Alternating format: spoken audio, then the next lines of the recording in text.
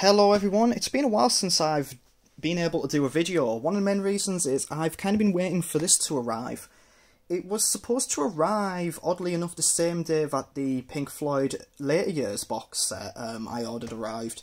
But it got pushed back about a year or so, uh, not a year, a month or so, um, and it's finally here.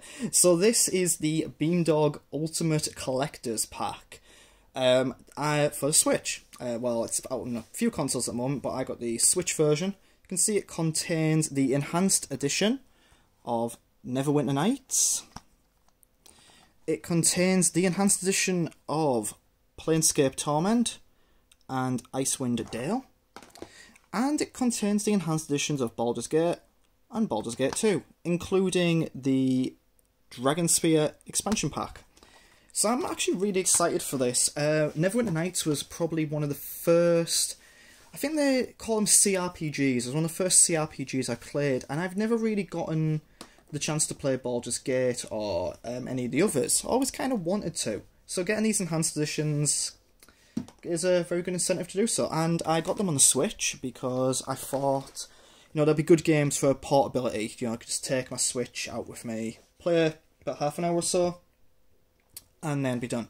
So this is the Enhanced Collector's Edition. So I've got three games here. Um, so it's about £200 in total. Um, but, you know, for one, two, three, four, five games, including all the box of goodies here, I think it's pretty decent deal. Uh, with them being Switch games, they'll probably run you about 40 £50 each. Um, do appreciate on PC these games have probably been out a while and are probably cheaper. Um, also appreciate on other consoles, PS4 and Xbox One, they might be a bit cheaper. But whatever. So let's just delve straight into the box. So you can see it's a lovely kind of made it look like a chest with the giant armor. You've got your logos of the games there. Nothing on this side, just kind of some credits and such. We flip it open. So you get quite a lot of goodies with this. So obviously the most striking thing is uh, the skull here. I'm going to call him Murray. So we've got what looks to be an art card here. I will just take that off. Yeah, so this is a series of art cards.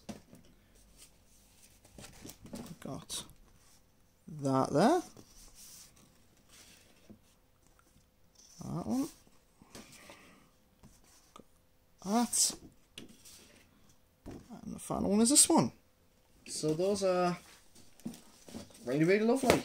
And they will hopefully find a, a place and be framed and find somewhere on the walls around here. We are at premium for space. I'm going to leave the skull last. So next up, I have to be careful about how I get stuff out here. Next up is this. A lovely poster tube. Get that out. Very satisfying pop. I will never get this back in the tube now. So this is a map. It's a map of the Sword Coast and all the areas. So actually, hold it along there, you can kind of see all the various areas that we play in in these games, I believe. Yeah, actually, the Spinal World, Neverwinter Wood. That's a very nice map. It's not really come up the best on the camera, I feel. But a really nice thing regardless that back in there. Now next up, we'll take out this box. There's some more goodies down there. That, is there anything else under that? I don't think so. Some more stuff in there. Some more stuff here. Okay, so next up we've got a pin badge. Baldur's Gate pin badge. And we've got a Planescape Torment one. So those are really, really lovely. Tell you what, I'll actually get them out so we can have a feel of them. yeah, so they feel really, really nice. Very nice detail on them. I'll get the Baldur's Gate one out as well.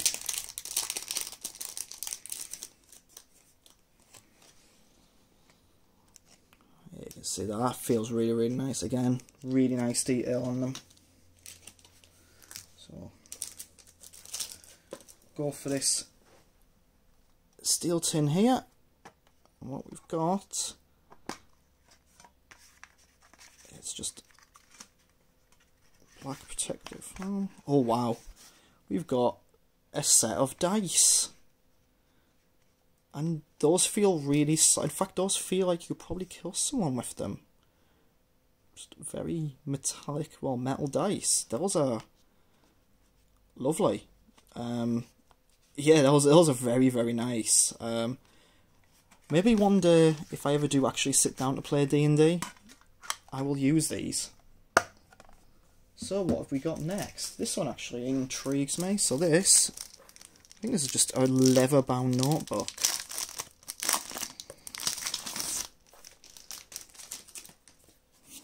Yes, it is. So I don't know if you can see the detail very well on that. There we go. Let's tilt it up into the light a little bit. See the detail on that. And yeah, that's just Oh, that's a line notebook, but there's some uh, few little pictures kind of scattered around in there. Just of maybe bits of artwork. Again, a really lovely piece of I kind of don't know if I'll ever use this because I don't know if you know it kind of feels too nice to be used, especially to muddy up with my pathetic handwriting. Alright, let's get Murray out here. Murray, the skull, very squishy. Look at him. Whoa. See into your soul. Ha. Murray, the evil, demonic talking skull. Watch as he strides through the gates of hell, carrying your head on a pike as a testament to evil. Rolls, rolls through the gates of hell. And finally, we have this box here. If I can actually get to it. I actually didn't expect this kit to be as large as it was, if I'm being honest with you. So what have we got here? We have a final piece of kit. Which is in protective garb. Pull that out. Oh, wow. Okay.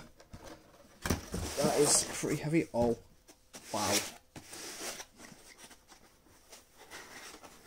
Now that is a centerpiece for anyone's coffee table, isn't it? That is amazing. That is really, really heavy. and that is so lovely. that is such lovely detail on that. It's just it's like nice little felt insert here as well. I think this is like meant to be like a dice tray or something. Look at that. When I looked at the images for this, I didn't realise that this was this size. I thought it was going to be about that size, and I thought it was going to be plastic, and that is not. That is really, really nice. I'm actually really surprised. Like, the detail on it, the paint job is absolutely lovely. And I think that is pretty much everything we have in this box set. I'll leave you there. I don't know what to call him. We've got Murray over here still. Where did I put Murray? Murray. Do, do, do. Ah.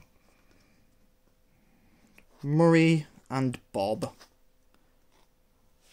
There we go. So that's the Beamdog Ultimate Collector's Edition. Got a lot of 400 million hours worth of games there, and a lot of really nice gear to go along with it. Thank you all very much for watching. See you sometime in the future.